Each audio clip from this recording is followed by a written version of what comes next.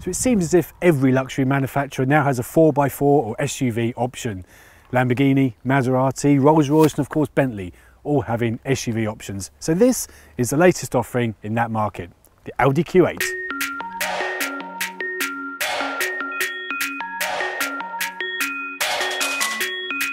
Anything with the number 8 in it from the Audi range means it's at the top end of the scale, and the Q8 from the outset looks just that.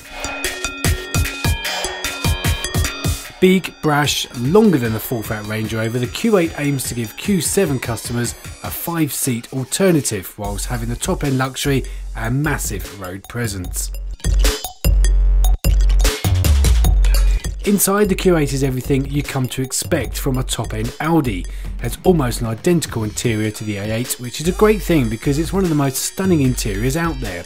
The build quality and attention to detail is incredible which again you come to expect from this level of car.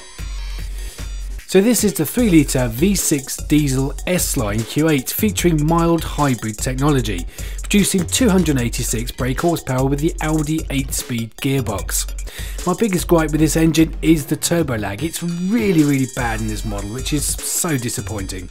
So although the Q8 is lower than the Q7, there's still plenty of room. As you can see, plenty of leg room and plenty of headroom. But is it as luxurious as an A8? No, not really. I mean, these rear seats are very bench-like, so you don't really exactly slide into them. You've got a very flimsy armrest here. You do get air conditioning controls for the rear passengers, but there's no uh, blinds, there's no uh, rear entertainment. So although I think the potentials are massive for this Q8, the space is there. Why doesn't Audi develop a rear seat package or an individual rear seat package for the Q8?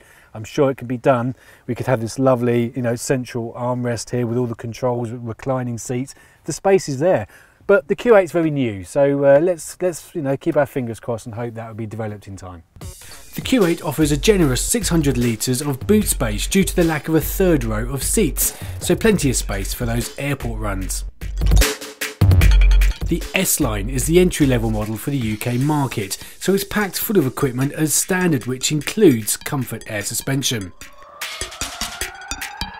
A £2,000 option is the all-wheel steering which makes the Q8 extremely manoeuvrable at both low and high speeds. The £1,700 22 inch wheel upgrade on this model isn't recommended as ride is somewhat compromised.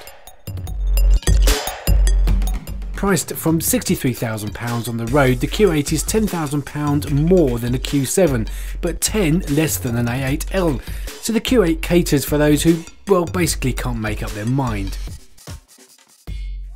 For now, the Q8 is certainly a head turner and a vehicle full of potential for this industry and well worth a consideration when looking into a capable SUV chauffeur vehicle.